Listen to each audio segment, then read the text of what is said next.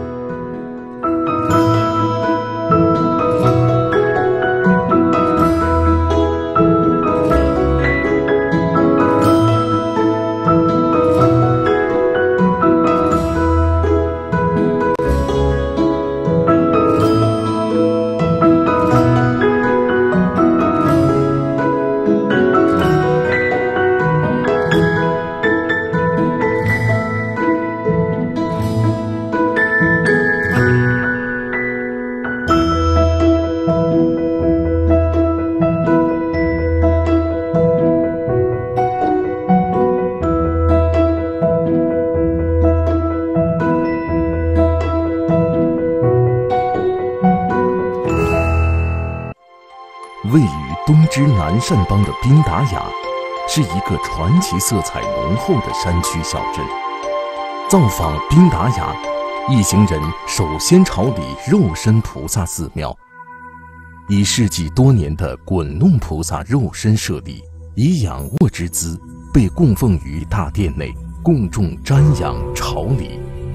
相传，滚弄肉身菩萨生前只吃水果，是一位。终身如素的南传法师，圆寂后更以其肉身不坏之德相，示现非凡梵果而射中无数。瞻仰菩萨慈言的当下，大和尚也领众诵经持咒，回向肉身菩萨无边功德，为现场众人慈悲开示：放下才能够拥有。佛叫我们放下。一切，就像老和尚一辈子持戒、吃水果、劝人吃素，那放下对身体感官的执着，所以他得到一个永恒肉身不坏的身体。所以你要得到你的佛性，那你就要有空性，放下自己的爱、恨、骄傲、嫉妒、执着。这些分别烦恼，那你就找到你的佛性、空性、快乐自在。我想就像老和尚一样，他肉体的因缘到了，但是他可以用他这个金刚不坏的肉体，能够度化很多众生，让我们见即解脱，乃至同享功德。开示中，海涛大和尚。也列举慈航法师等肉身菩萨的修行功德为例，劝请众人以佛心为己心，广修功德，利益众生，为众生成佛而努力。就像台湾第一尊肉身菩萨慈航法师，那我们永远会记得他的话：来，以佛心为己心，啊，以师智为己智。我们的心应该恢复我们的佛性，佛性就是佛心，就是菩提心。菩提心就包含了空性、大悲心、广修功德、发愿、利益众生、善根都回向给众生，为众生成佛而努力，然后这样来发菩提心，来离止善知识，实践了佛陀的教法。《中阿含经》当中记载：“若见缘起，便见法；若见法，便见缘起。”雅望格州相当于当今缅甸的善邦，包括莱茵湖及行政首都东芝与昔日王室宫殿，都是雅望格的热门景点。而宾达雅佛洞，又称万佛洞或蜘蛛精洞，也是传说中大蜘蛛精困住七仙女的盘丝洞。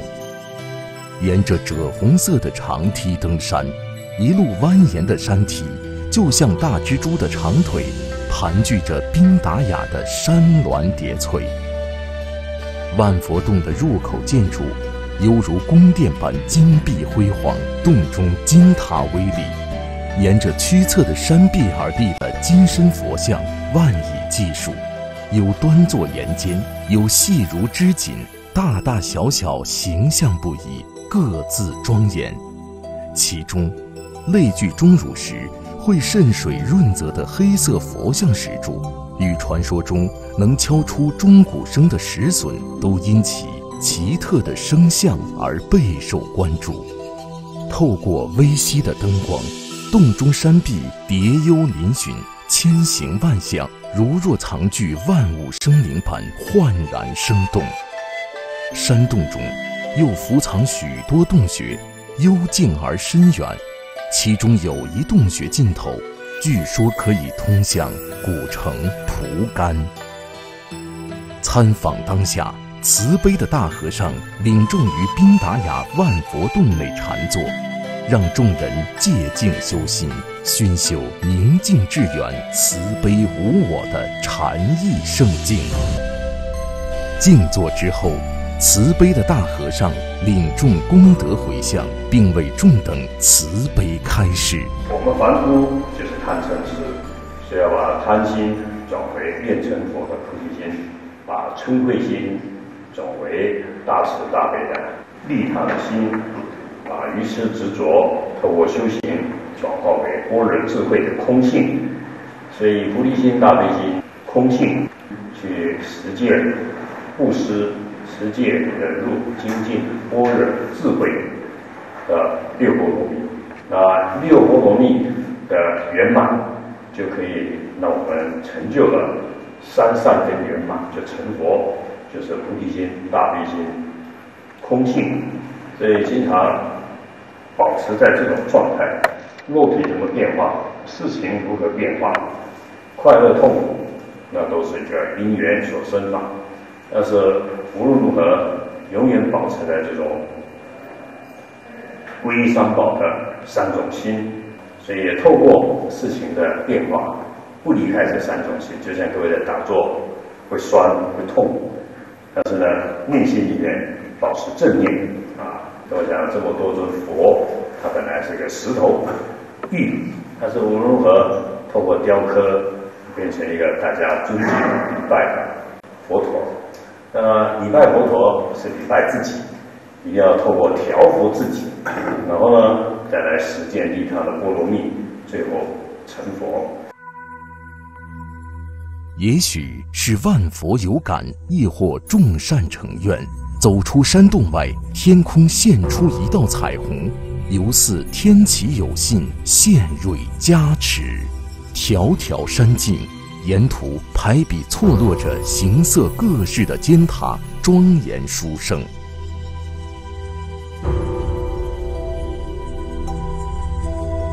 众人来到一处塔林间，请手中资财食物等，燃起慈悲烟供，为已作画的滚弄老菩萨及万佛洞内外有情娑婆世界万物众生，熏修慈悲法门。祈愿冉冉烟云，遥送无量慈悲，普渡十方有情，共登佛国净土。